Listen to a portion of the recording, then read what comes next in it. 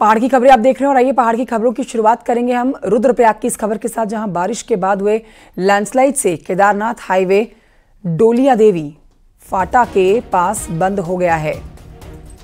तेज बारिश के बाद पहाड़ी से बोल्डर और पत्थर आने से सड़क बंद हो गई है, जिसे खोलने का काम जारी है। वहीं हाईवे बंद होने से सड़क के दोनों तरफ़ गाड़ियों की लंबी लंबी कतारें लग गई हैं।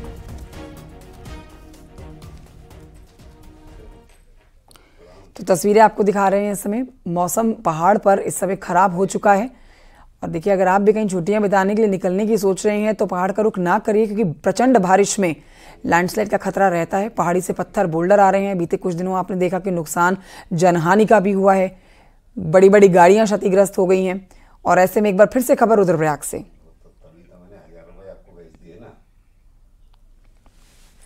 कोटद्वार से खबर, जहाँ पर कोटद्वार समेत आसपास के पहाड़ी इलाकों में बारिश के चलते मालन नदी उफान पर आ गई है।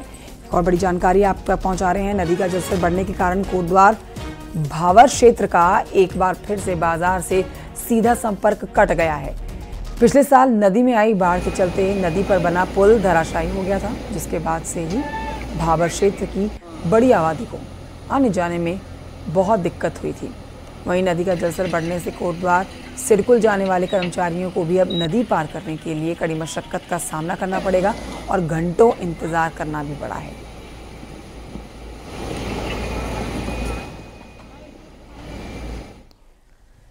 बागेश्वर में देर रात हुई मूसलाधार बारिश से गोमती, सरयू नदियाँ उफान पर आ गई। हैं नदियों का उफान देखते हुए नदी किनारे रहने वाले लोगों को अलर्ट कर दिया गया है।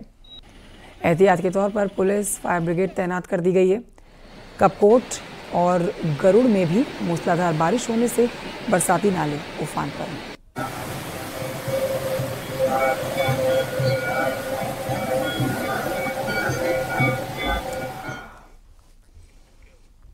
अब आपको बताते हैं, लगातार हो रही बारिश के बाद पहाड़ों पर लोगों के लिए बारिश आवत बन गई है।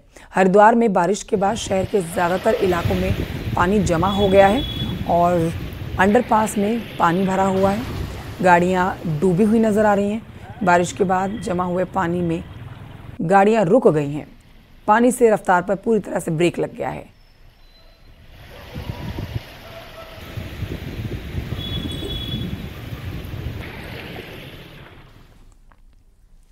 वहीं आपको बताएँ कि उत्तराखंड के छह जिलों के लिए मौसम विभाग ने भारी बारिश का अलर्ट जारी कर दिया है। मौसम विभाग के अनुसार देहरादून, नैनीताल, पौड़ी, चंपावत ऊधम सिंह नगर और हरिद्वार में आज भारी बारिश का अनुमान है, जबकि 4 जुलाई तक पूरे प्रदेश में बारिश रहेगी।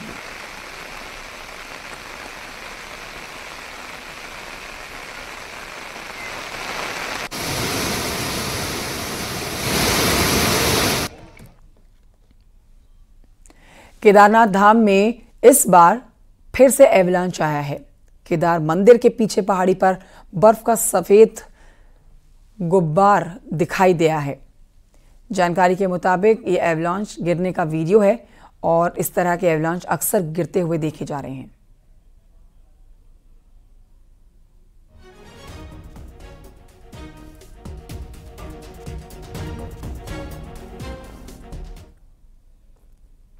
उधर नैनीताल में बारिश से कई जगहों पर लैंडस्लाइड का खतरा बना हुआ है।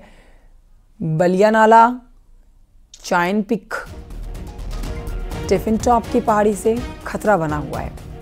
हालाँकि बलिया नाले में निर्माण कार्य शुरू ज़रूर किया गया है, लेकिन उस पर भी खतरा बना हुआ है। इसके साथ ही आपको बताएँ कि शहर में आवागढ़ के साथ ठंडी सड़क और दूसरे स्थानों पर भी बारिश में लैंडस्लाइड का खतरा है।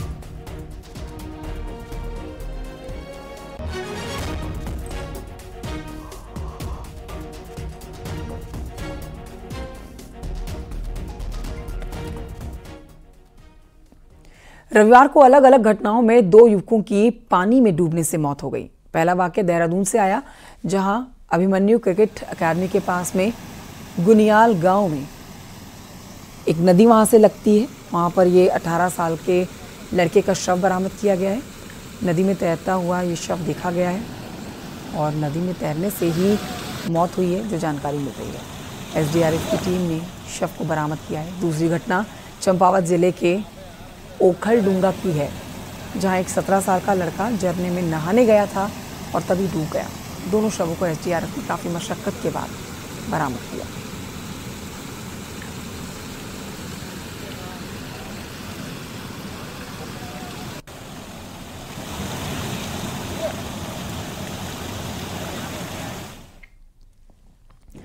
और आइए आगे बढ़ते आपको बताते हैं, देश में अंग्रेज़ों के जमाने से चले आ रहे तीन आपराधिक कानून आज से बदल गए हैं। दिसंबर 2023 में संसद से पारित तीन कानून आज से पूरे देश में लागू हो गए हैं। आईपीसी अब भारतीय न्याय संहिता के तौर पर जाना जाएगा। सीआरपीसी अब भारतीय नागरिक सुरक्षा संहिता होगी और एविडेंस एक्ट अब भारतीय साक्ष्य अधिनियम होगा। इन कानूनों के लागू होने के साथ ही इनमें शामिल धाराओं का सीरियल नंबर भी बदल जाएगा। भारतीय दंड संहिता में 511 धाराएँ थी, लेकिन भारतीय न्याय संहिता में तीन धाराएँ ही रह गई हैं। संशोधन के ज़रिए इसमें 20 नए अपराध शामिल किए गए हैं। तैंतीस अपराधों में सजा बढ़ाई गई है। सीआरपीसी की चार सौ चौरासी धाराओं के बदले भारतीय नागरिक सुरक्षा संहिता में 531 धाराएँ रखी गई हैं।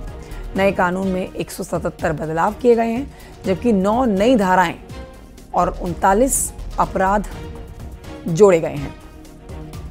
वहीं आपको बताएँ कि नई भारतीय साक्ष्य अधिनियम में भी बदलाव किए गए हैं। इसमें 170 नियम कानून तय किए गए हैं 24 कानून बदले गए हैं।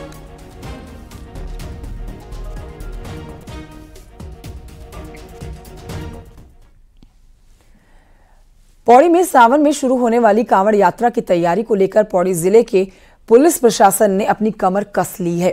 कांवड़ यात्रा शुरू होने से पहले नीलकंठ कांवड़ क्षेत्र, जहाँ पर फोर्स डिप्लॉयमेंट करने की तैयारी की गई है। दरअसल, इस बार जिस तरह से चारधाम यात्रा में रिकॉर्ड तौर श्रद्धालु पहुँचे, उससे ये अंदाज़ा लगाया जा रहा है कि कांवड़ यात्रा में भी भारी श्रद्धालु आएँगे और जलाभिषेक करने नीलकंठ पहुँचेंगे।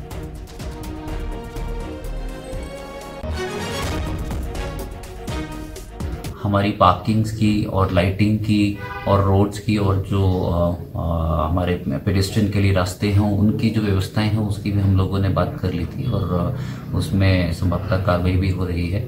और उसी के साथ साथ जो हमारे वहाँ पे ड्यूटीज़ लगती हैं डिप्लॉयमेंट प्लान रेडी होता है और उसमें हमारे से हाँ हमारी तरफ़ से जो मांग की जाती है मुख्यालय से मैन पावर की उसकी भी हम लोगों ने मांग कर ली है।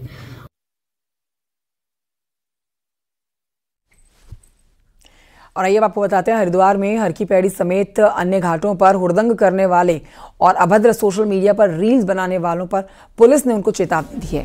हरिद्वार पुलिस की ओर से हरकी पैड़ी पर कई चेतावनी के साइन बोर्ड लगाए गए हैं, जिसमें गंगा स्नान करती हुई महिलाएँ और बच्चों के फ़ोटो, वीडियोस लेने और सोशल मीडिया पर रील बनाने को लेकर चेताया गया है। आपको बता देते हैं कि कई शरारती तत्व हर की पैड़ी पर सोशल मीडिया के लिए रील्स बनाते हैं जिसे परिवार के साथ गंगा स्नान कर रहे कई श्रद्धालुओं को आपत्ति भी होती है।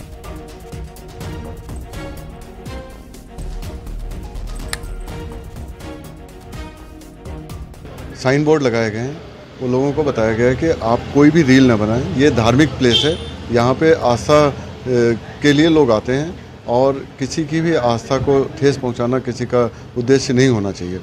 और इस साइन बोर्ड का इम्पैक्ट भी आ रहा है। काफ़ी लोग इसको देख के और जो आप लोगों की सोशल मीडिया में वो साइन बोर्ड कवर किया गया है, उससे लोगों को संदेश भी मिला है।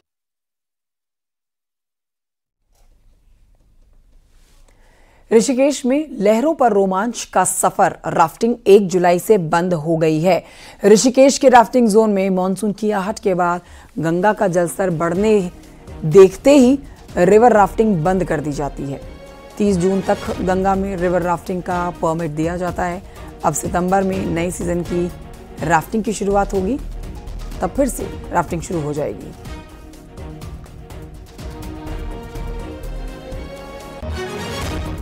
आदेश तो यह है कि 30 जून तक परमिट होता है। जी। कल तक राफ्टिंग थी। कल क्लोज हो गया आज से राफ्टिंग बंद है। राफ्टिंग अब सितंबर में खुलेगी एक से पंद्रह के बीच में खुलेगी। जल स्तर जल जल स्तर को देखते हुए एक से पंद्रह के बीच में। नैनीताल के बेताल घाट दिन दहाड़े गुलदार दिखने से लोग दहशत में आ गए यहाँ।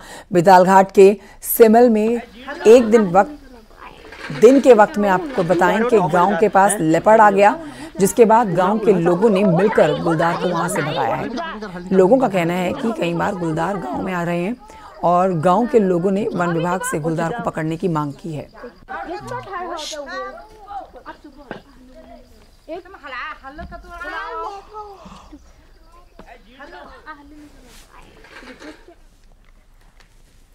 अल्मोड़ा के सल्ट से खबर, जहाँ पर एक बड़ा सड़क हादसा हो गया है और बड़ा हादसा और बड़ा होते होते टल गया है, ये भी आपको बता देते हैं। यहाँ पर जिमार के पास में रोडवेज़ की बस खाई में जाने से बाल बाल बच गई है। बड़ा हादसा हो जाता। बस में चौंतीस यात्री सवार थे, जो सभी सुरक्षित हैं। रोडवेज़ की बस सराईखेत से रामनगर आ रही थी, तभी जिमार के पास में बेकाबू हो गई। गनीमत रही कि बस खाई में नहीं गिरी। ये तस्वीर आपको दिखा रहे हैं। इंच भर की दूरी खाई से बस की। बड़ा जानमाल का नुकसान होता और हादसा टल गया।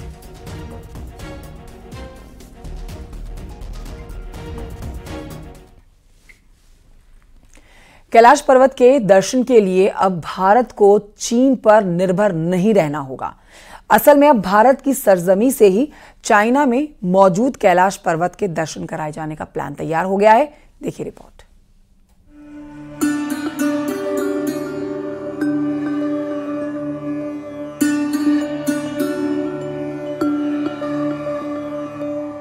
जिसकी कल्पना शायद ही किसी ने की हो, अब साकार होने जा रहा है। उत्तराखंड सरकार इसी साल सितंबर से श्रद्धालुओं को कैलाश पर्वत के दर्शन कराने जा रही है। चाइना के करीब ओल्ड लिपुलेख से विदेशी धरती पर मौजूद कैलाश पर्वत के दर्शन आसानी से होते हैं। भारत से कैलाश पर्वत के दर्शनों के लिए नाभिढांग से करीब तीन किलोमीटर की चढ़ाई चढ़नी होगी। प्रशासन ने पहले ही तीन किलोमीटर के इस रास्ते को बना लिया है। साथ ही कैलाश के दर्शनों के लिए ओल्ड लिपुलेख में एक व्यू पॉइंट भी तैयार किया जा रहा है। कि ओल्ड लिपू लेक से कैलाश दर्शन यहाँ से भारतीय भूमि से कैलाश दर्शन शुरू किए जाएँगे। इसके लिए मैं टूरिज़्म डिपार्टमेंट इसमें तैयारी कर रहा है। इसमें मेरे मेरे साथ भी एक मीटिंग की गई थी और उसमें एक एसओपी डिसाइड हुई है और जल्दी ही वो एसओपी जारी हो जाएगी और उम्मीद है इस बार सितंबर से ओल्ड लिपू लेक से कैलाश दर्शन शुरू हो जाएँगे। चीन से तनावपूर्ण रिश्तों के कारण मानसरोवर यात्रा 2020 से बंद है। दोनों देशों के बीच जिस तरह तलखी बढ़ रही है उससे आने वाले दिनों में भी यात्रा शुरू होने के आसार नहीं है। जिस कारण भारतीय श्रद्धालु कैलाश पर्वत और मानसरोवर झील के दर्शन नहीं कर पा रहे हैं। मानसरोवर यात्रा के विकल्प में उत्तराखंड सरकार ने आदि कैलाश यात्रा शुरू की है। बावजूद इसके श्रद्धालुओं का मन भोले की धरती के दर्शन के लिए तरसता रहा, लेकिन अब उनके मन की मुराद पूरी होने जा रही है। पार्वती सरोवर के दर्शन करने के साथ ही हम आदि कैलाश के दर्शन कर सकते हैं। यहाँ हम गुंजी से नाभी डांग के पास से हम ओम पर्वत के दर्शन भी कर सकते हैं। ओल्ड लिपुलेक से कैलाश के दर्शन होने पर जहाँ बॉर्डर इलाके में नया पर्यटन का केंद्र स्थापित होगा, वहीं आदि कैलाश, ओम पर्वत और पार्वती लाल के दर्शनों के लिए आने वाले श्रद्धालुओं को भी नया धार्मिक केंद्र मिल सकेगा। यही नहीं। 16,000 फीट की ऊंचाई पर मौजूद इस स्थल से भोले के दर्शन होने पर चाइना पर भारत की निर्भरता पूरी तरह खत्म भी हो जाएगी। न्यूज़ 18 के लिए पिथौरागढ़ से विजय वर्धन उप्रेती की रिपोर्ट।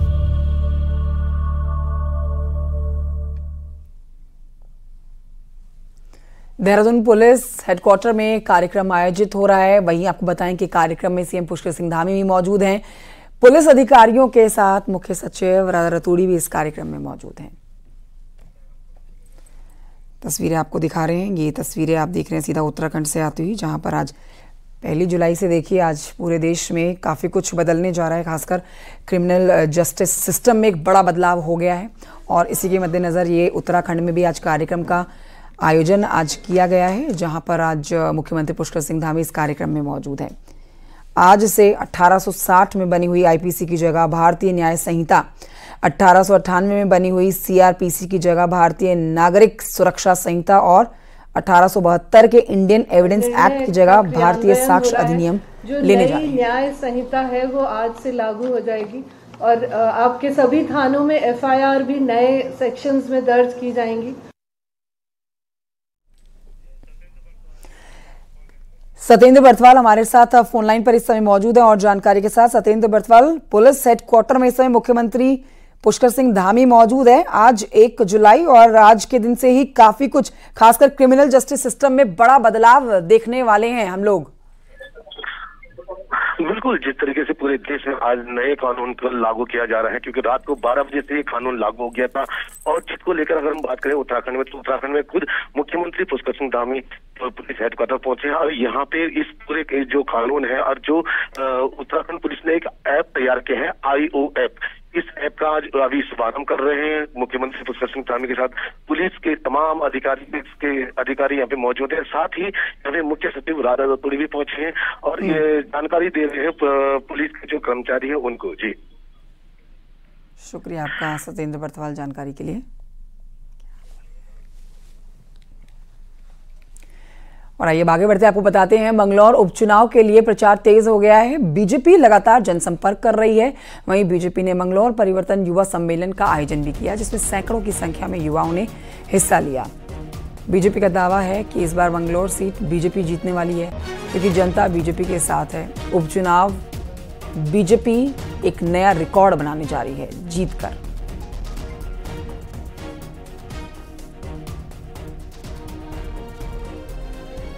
अब की बार इस क्षेत्र की जनता ने ये मन बना लिया है जो पिछले 30, 35, 40 सालों से कभी हाजी जी कभी हाजी जी अब की बार करतार सिंह बढ़ाना यहाँ के हमारे विधायक होंगे ये मन जो यहाँ की जनता बना चुकी है। कांग्रेस प्रदेश अध्यक्ष करण महाराज चमोली के दौरे पर हैं और कांग्रेस प्रत्याशी लखपत बुटोला के पक्ष में प्रचार भी कर रहे हैं। इस दौरान करण महारा ने बीजेपी उम्मीदवार राजेंद्र भंडारी को भगोड़ा प्रत्याशी कहा। करण महारा ने कहा है कि उनके भागने के संकेत कांग्रेस को पहले ही मिल चुके थे। जब उन्होंने राष्ट्रपति चुनाव के दौरान भाग नहीं लिया, वहीं बीजेपी का कहना है कि राजेंद्र सिंह भंडारी, प्रधानमंत्री नरेंद्र मोदी की जन कल्याणकारी नीतियों से प्रेरित होकर बीजेपी में शामिल हुए हैं।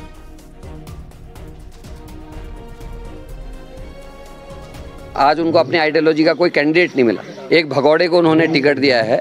सही और गलत का ये चुनाव है, इसलिए भी ज़रूरी है। और मैं खुश हूँ कि कांग्रेस के सारे नेतृत्व आज इस सीट पर काम कर रहा है और सब एकता के साथ काम करे मुझे लगता है परिणाम सुखद होगा। इस उपचुनाव को जीतने जा रही है, इसलिए कांग्रेस के या अन्य लोग घबरा करके अनर्गल बयानबाजी कर रहे हैं। और भारतीय जनता पार्टी के सभी कार्यकर्ता तन, मन और धन से प्रत्याशी को जिताने के लिए लगे हुए हैं। देखिए, अगर नैनीताल में झील ही ना हो तो क्या होगा? ये बात इसलिए की जा रही है क्योंकि पिछले 20 सालों से नैनीताल की झील गहराई लगातार इसकी कम होती जा रही है, जो चिंता का विषय बन गया है। रिपोर्ट देखिए।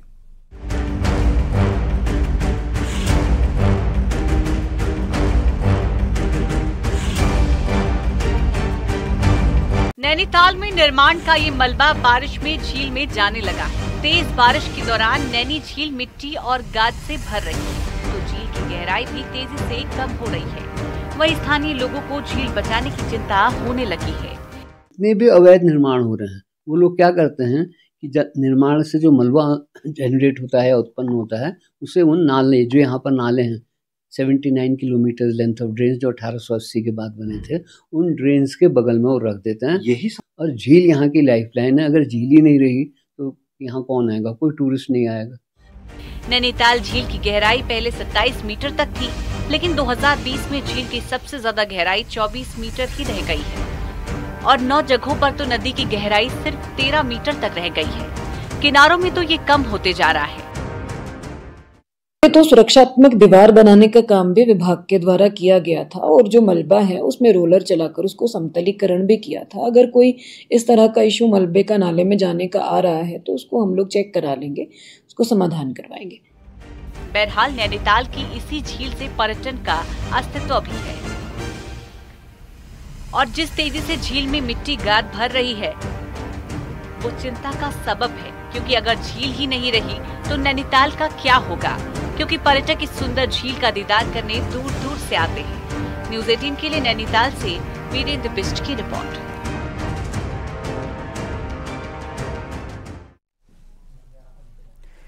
खबर पौड़ी से जहाँ पर एक महिला ने 11 लाख रुपए की धोखाधड़ी करने वाले अंतर्राज्यीय गैंग के सदस्य को मथुरा से गिरफ़्तार किया है। शातिर ठग ने महिला को दोगुना लोन, सस्ती ब्याज दर पर देने के बहाने महिला से 11 लाख रुपए ठग लिए थे। पुलिस ने आरोपी हारून को मथुरा से गिरफ़्तार किया। जिसके बाद अब उसे जेल भेज दिया गया है।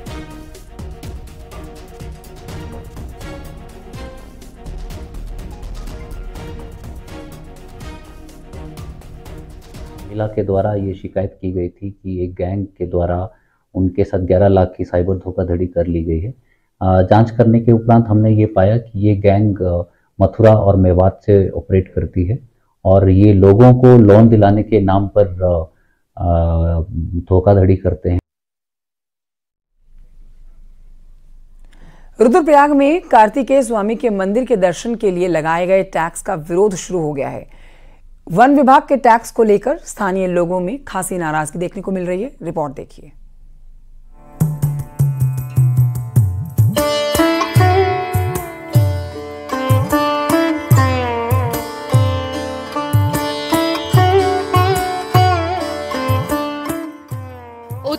में भगवान कार्तिकेय स्वामी का एकमात्र मंदिर, रुद्रप्रयाग और चमोली ज़िले के बॉर्डर पर स्थित है।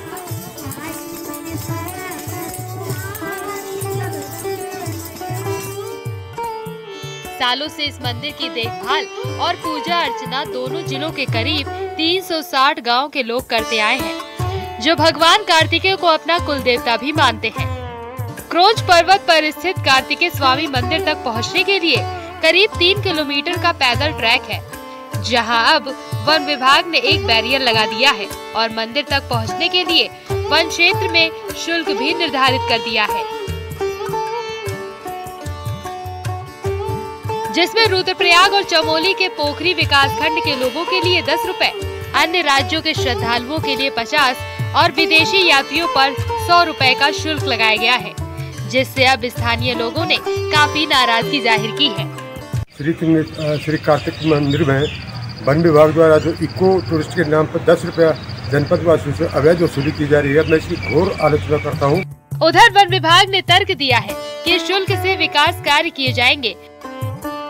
तो मंदिर समिति का कहना है कि अगर एक महीने में धरातल पर विकास कार्य नहीं दिखे तो विरोध किया जाएगा। एक माह अभी एक माह से ज़्यादा समय इनको दे रहा हूँ और नहीं तो हम पहली अगस्त से इनके गेट पर जो इन्होंने वहाँ पर लगा रखा है, वहाँ पर बैठेंगे, इनका विरोध करेंगे और इनको किसी भी कीमत पर एक रुपया भी वसूल करने नहीं देंगे। रुद्रप्रयाग, जनपद और पोखरी ब्लॉक चमोली के जो लोग हैं, उनके लिए दस रुपए का शुल्क और बाहरी लोगों के लिए पचास रुपए का एक न्यूनतम शुल्क रखा गया है। इस शुल्क का इस्तेमाल जो है यहाँ पे हम जो यात्रा व्यवस्था के लिए जो भी अवस्थापना विकास और जो स्थानीय लोगों को रोज़गार देने के लिए किया जाएगा। यदि वन विभाग वसूले गए शुल्क से श्रद्धालुओं के लिए सुविधा मुहैया कराता है तो शायद किसी को कोई दिक्कत नहीं होगी। लेकिन विकास काम नहीं होने पर आमना सामना होने की उम्मीद है। न्यूज़ एटीन के लिए सतेज बर्तवाल की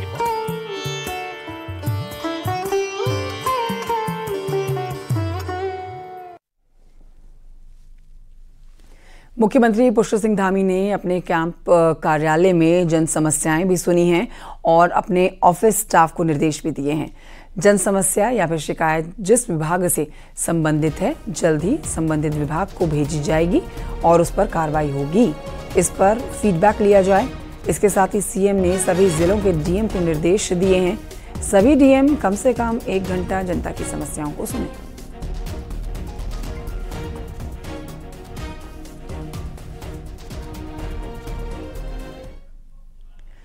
मुख्यमंत्री पुष्कर सिंह धामी ने रविवार को सरकार में ज़िम्मेदारी संभाल रहे सभी दायित्वधारियों से अपने आवास पर मुलाकात भी की है।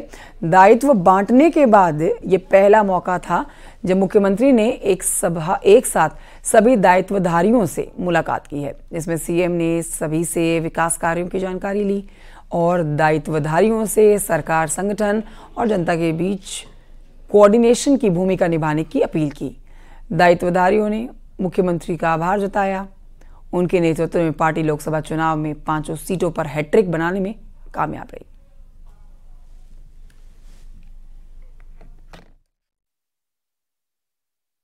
हमें कैसे काम करना चाहिए और किस प्रकार से हमारी अपने विभाग में या सरकार के काम में सहयोग हो सकता है, उसके बारे में मार्गदर्शन दिया। इसके अलावा सरकार और संगठन में भी हमारी क्या भूमिका रह सकती है, इसके बारे में भी उन्होंने बताया। और ये भी हमसे अपेक्षा की है कि हम जहाँ अपने विभागीय कार्य में सहयोग करें, वहीं पर सरकार के जो कार्य हैं, उनको भी जनता के तक ले जाएँ। सभी कार्यकर्ताओं ने दायित्वधारी ने मुख्यमंत्री का आभार भी व्यक्त किया, धन्यवाद किया है कि उनके नेतृत्व में पाँचों कमल से उत्तराखंड से गए हैं।